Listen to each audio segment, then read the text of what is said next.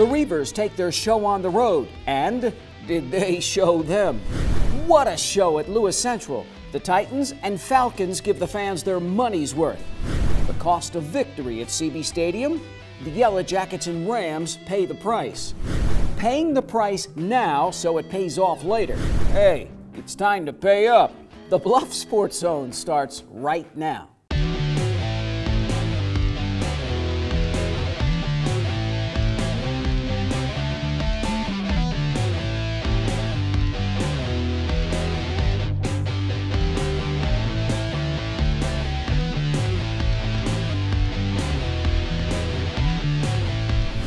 Hello, I'm JJ Davis, and welcome to another edition of the Bluff Sports Zone.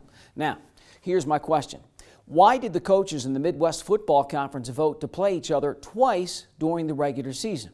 And for the record, the head Reiver Scott Strohmeier is the only coach to vote a big fat no. So, why? Well, let me show you. As third ranked Iowa Western kicked off league play at Ellsworth. And here's IDub TV student Aaron Zach. Road game coverage brought to you by Jennie Edmundson Sports Medicine. Undefeated Iowa Western looking to improve its record to 3-0. The Reivers face Ellsworth Community College on a hot, muggy day. Early first quarter, action can be described in one word, defensive. Panthers give the reigning national champs all they could handle.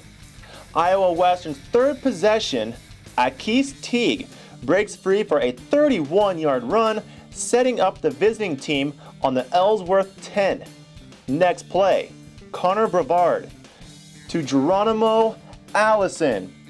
Reivers draw first blood, 7 0. First play of the second corner. Former St. Albert star Jimmy Hawk blocks the punt. Marcus Montgomery recovers the ball. He goes all the way for a 50 yard scoring play. Iowa Western up 14 0 still in the second. Teague again. Freshman star runs for 111 yards, slips through here for 33 to make it 21 zilch. As a friend of mine would say, he gone.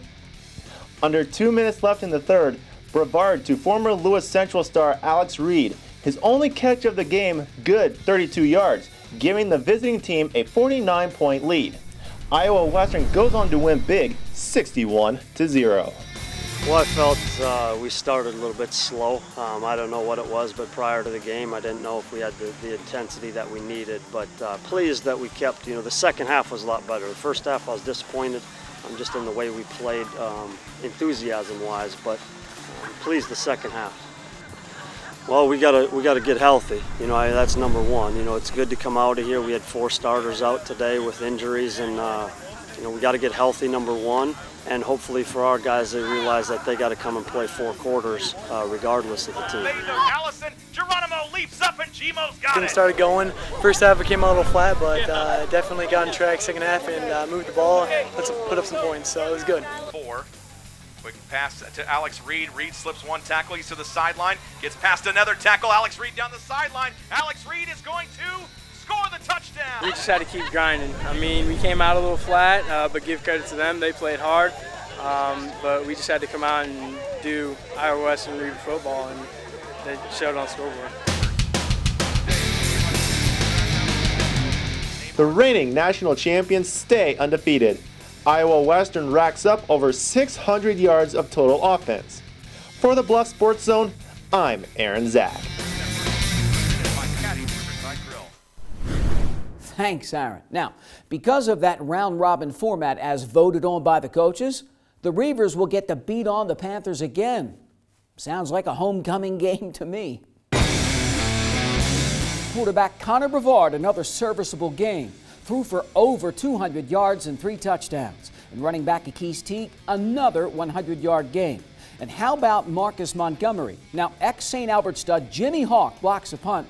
Montgomery returns it 50 yards for a score. He later picks one off and recovers an Ellsworth fumble. All in a day's work. And look at that defense. The Reivers D side holds the Panthers to just 98 total yards of offense on 63 plays. And the home defense? Yeah, not so much. Ellsworth gives up 605 total yards. So another blowout for Iowa Western. And next stop, another road game. this time at the North Dakota State School of Science. And uh, oh, yeah, NDSCS knocked off Ellsworth to start the season. So, guess where this one's going? The going got tough at CB Stadium. Only who toughed it out? But first, Lewis Central, St. Albert. Need I say more? When we come back.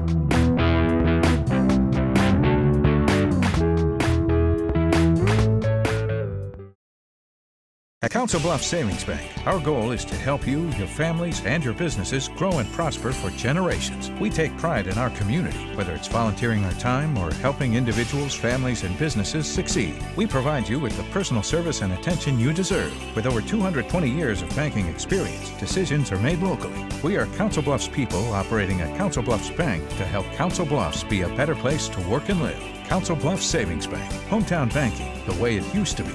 Member FDIC. Jack Frost, you do have beautiful teeth. My, my what? Are they really as white as they say? Yes.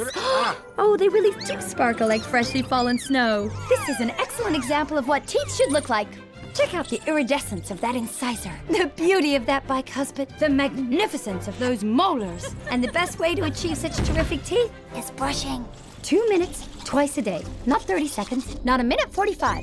Two minutes. That's all it takes. They're beautiful.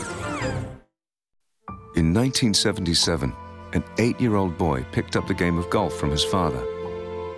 The odds of that same boy then making it to the US and European Pro Golf Tours one in seven million.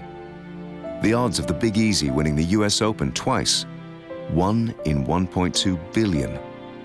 The odds of him having a child diagnosed with autism one in 110.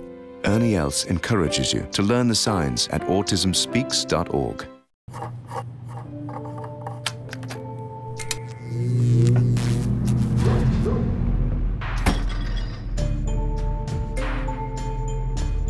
Traditional light bulbs actually generate nine times more heat than light.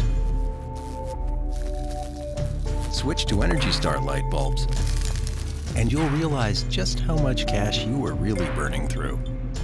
Saving energy saves you money. Learn more at EnergySavers.gov. What does the world have in store for you?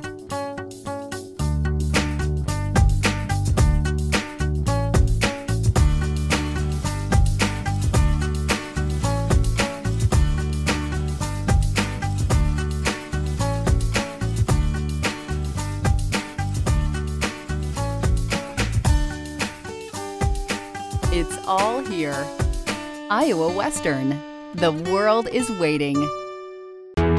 This portion of the Bluff Sports Zone brought to you by Cutler O'Neill, Meyer Woodring, family owned funeral home, serving Council Bluffs in southwest Iowa for over 100 years.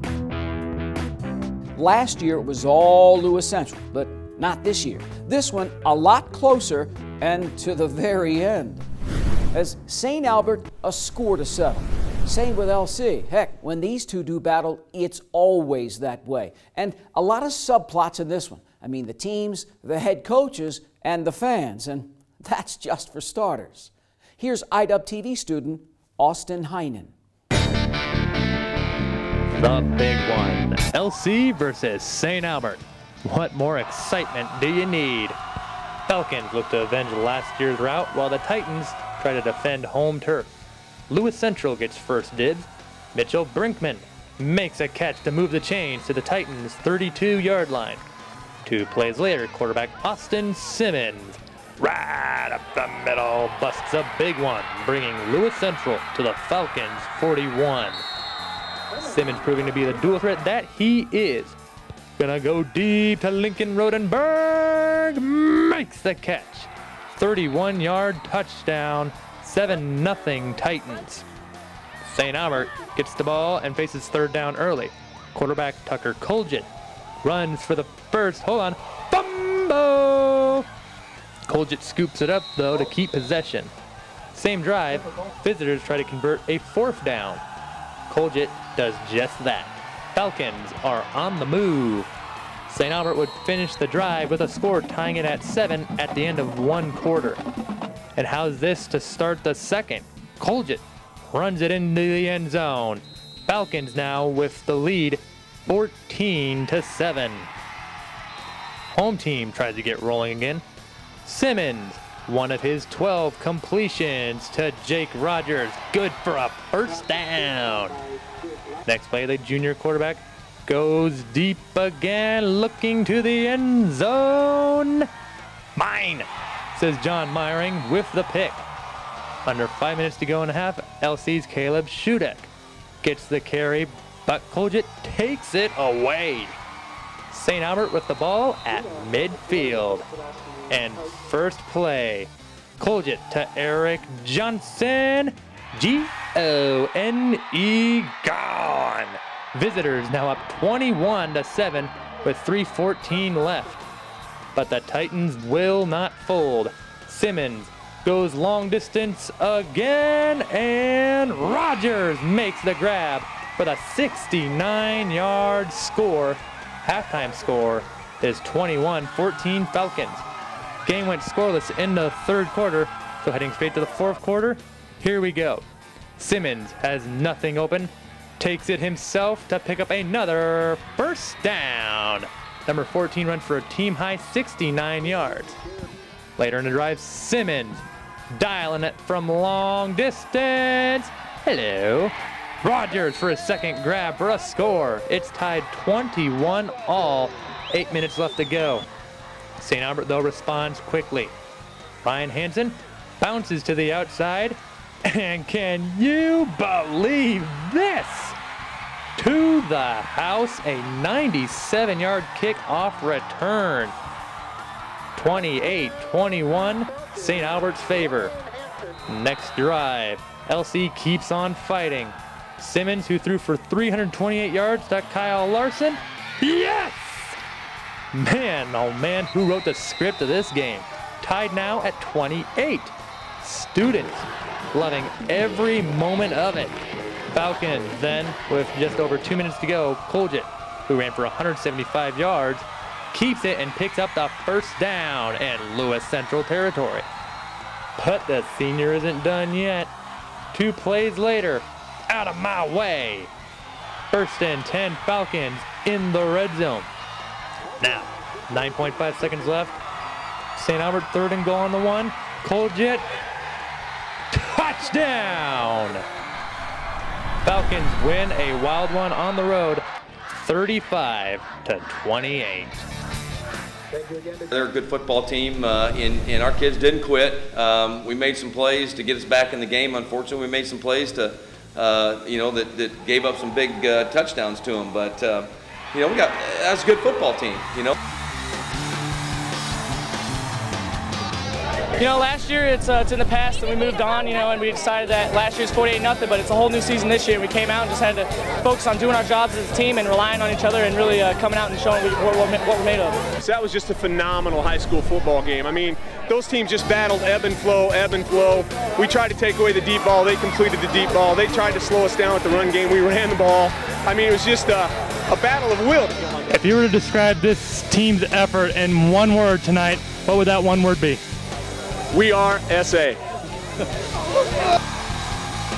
For the Bluff Sports Zone, I'm Austin Heinen. Thanks, Austin. Now, both coaches will tell you that the game really didn't mean that much. I mean, it won't affect the outcome of their seasons. Now, that's true, but come on, who's kidding who? The Lynx, not kidding at Harlan at least for the first two and a half quarters or so. AL drives 70 yards, five plays. Jared Thompson to Brandon Colpitt's touchdown. Abraham Lincoln trails the mighty Cyclones 14 13 in third, and then that was it. Senior QB Adam Jewell scores three on the ground, goes up top for two more, and combine that with four Lynx turnovers, and what do you get? 41 13 Harlan. As head coach Justin Camrad put it afterwards, you know, the first half we played great, and then the wheels fell off. Now, AL's got to forget about it and move on. Next up, drum roll please, good old fashioned street fight with TJ. The Iowa Western women's soccer team fought their way to the Final Four last year. What about 2013? But first, the Yellow Jackets started out okay, but then, next.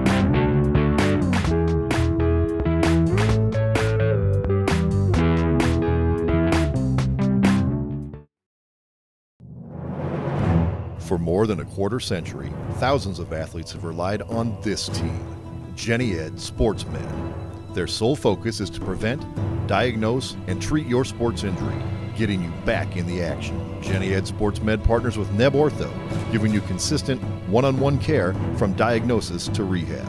And since every injury an athlete is different, they've even developed a sports injury clinic specifically designed for athletes. Jennie Ed Sportsmed. My life is full of statistics.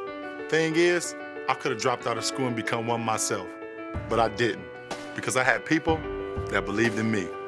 Here's another statistic 7,000 students drop out every school day. That's one every 26 seconds. It's time that students know that we believe in them. Inspire a student and share your message of support at boostup.org.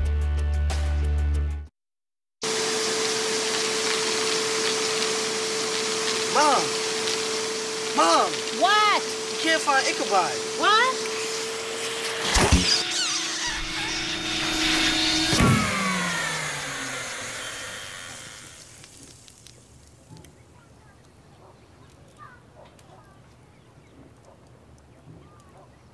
You don't have to be perfect to be a perfect parent. There are thousands of teens in foster care who would love to put up with you. I'm one unlucky guy. The chance of being involved in a robbery is 1 in 757. The chances of being struck by lightning 1 in 750,000. Please fasten your seatbelts for unexpected turbulence. The chances of being a victim in an airline crash 1 in 29 million. Hey, could I get some peanuts? The chances of being involved in a car crash are far greater than lightning strikes and plane crashes. And if you are texting while driving, your risk of crash increases 23 times. Now, I may be an unlucky guy, but I don't have to be part of that statistic, and neither do you. Drive responsibly.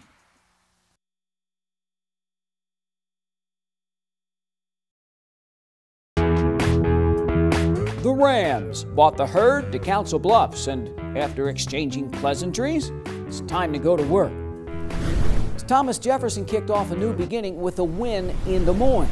And the Yellow Jackets back at CB Stadium for their home opener, and against a team that TJ beat at their place in 2012. The Yellow Jackets leave the hive looking to sting the Rams. Now Glenwood fumbles it away on the second play. It's first of three in the first quarter. After a roughing the kicker, TJ takes over the Rams 34. Stephen Ruby, a human pinball, 24 yards to the visitor 10. Third and goal, Wallace to Jakai Gregory. Then the Jackets, fourth down from the one. Stephen Ruby slices it in. TJ's on the board, 9.06 first quarter.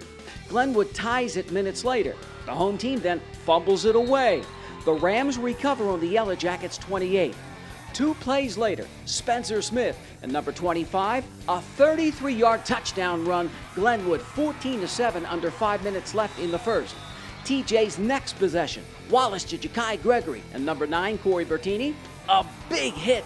Now, both hurt on the play. Gregory leaves the game but does come back. And Bertini, the Rams' senior QB, does not. Second quarter, visitors, third and nine from the 39. Gage Shatava down the sidelines. Glenwood over 300 yards of total offense in the first half. Brogan Wedham takes the pitch and punches it in. 21 7 Rams, 9.59 in the second quarter. And the Jackets, three and out. Glenwood takes over on its own 45. Freshman quarterback Colton Wilwarding hits Logan McCorkle for 10 yards and a first down. Spencer Smith, right side, 16 yards, another first down. First and goal from the eight. Spencer Smith reaches in 28 7 under eight minutes left in the half. TJ, another three and out. The Rams march 54 yards. Spencer Smith, the last 40 right up the gut. His third TD of the night, 35 7 Glenwood, standing tall at the break. Now, the visitors, 38 unanswered points, and the last three, third quarter, Brandon Bickle, a 47 yard field goal, wide right, and it's called good.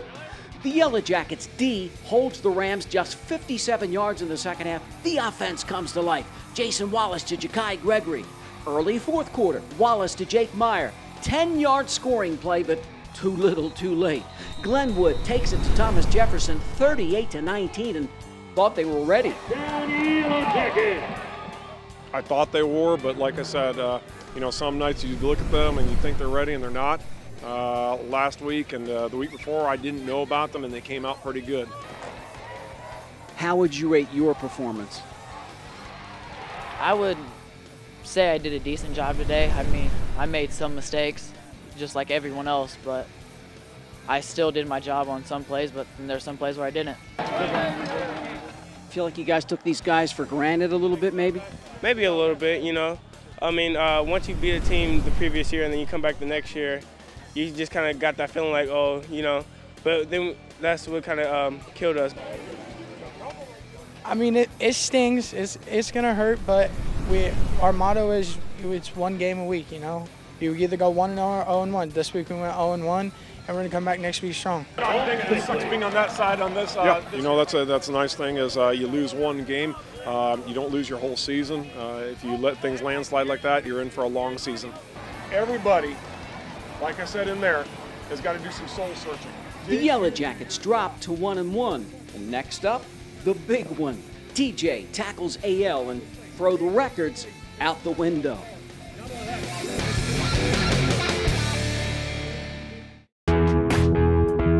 Gonna be a fun one at CB Stadium, that's for sure. Happy days are here once again for the Reivers women's soccer team. On the other side.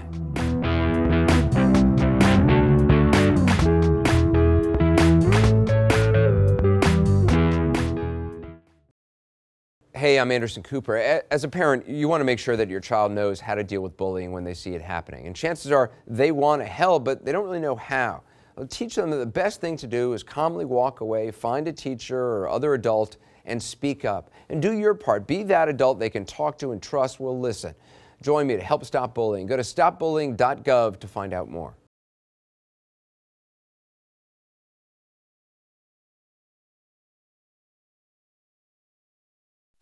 Luis, do you know that you're Elmo's plan? Your plan? Yeah, Elmo's mommy said that if Elmo is too sick to go to school, the plan is that Elmo stays with Luis and Maria. Oh, yes, we have that plan all in oh, place. great!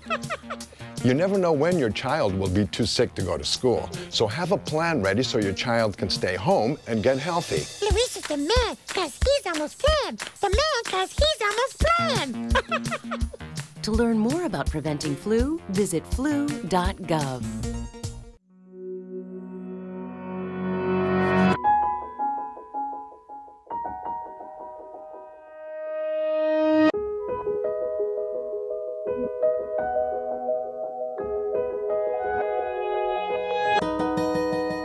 those dealing with the daily struggles of caring for a loved one, we hear you.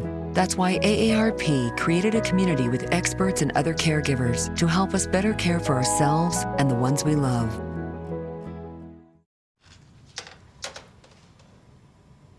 Wow, these are really good.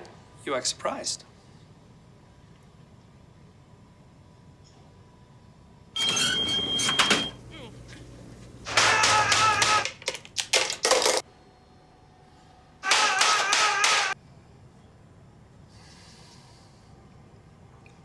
Practice makes perfect. You don't have to be perfect to be a perfect parent. There are thousands of teens in foster care who don't need perfection. They need you.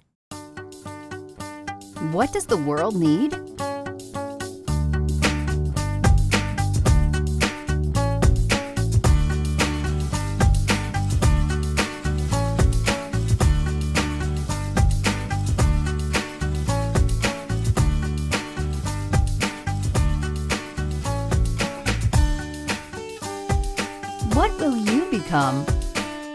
Western. The world is waiting. They have yet to play a home match, but that hasn't stopped them from winning on the road. The third ranked Iowa Western women's soccer team is at it again. The Reivers are 3 and 1. Now, this is a different team for head coach Brad Sylvie, but the goal is always the same. And speaking of goals, The Reivers won 19 games a year ago. Iowa Western scored 130 goals for an average of just under six per game.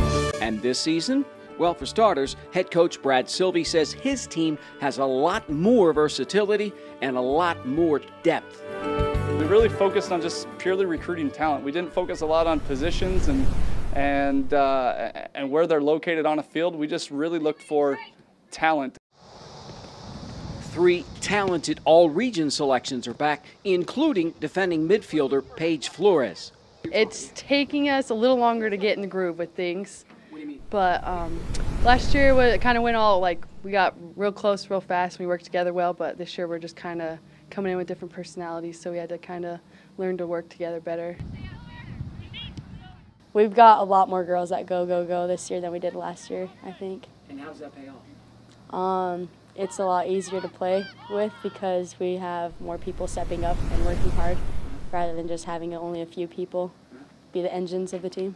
Up, up, everybody up! It'll be a similar style, but I don't think the goals will predominantly come from a certain person or a certain direction. It's going to be a lot more spread out. It's going to be a lot more of a balanced attack um, and maybe less predictable. I think we could be really good if we all click together. Why? Um, you feel like all the pieces are in place? Um, I don't feel like the pieces are in place yet, but once we do start to click, I feel like we could be really dangerous. I think they can go as far as they'd like to, Jay. Um, they, we, we really do. We have great talent. I think we are a deeper and more talented team from last year. It's just a matter of uh, if we can get it out of the girls at the right time of the season. Last season, NJCAA Final Four. The goal in 2013, even better. Iowa Western paying the price in early September, hoping it pays off in mid November.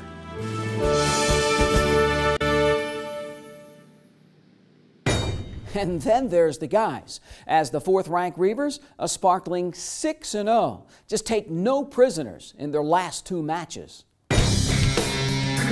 Jordan Carver and the gang put on a clinic in Chicago. Shut out South Suburban 7 0 and then blank DuPage 5 to zip.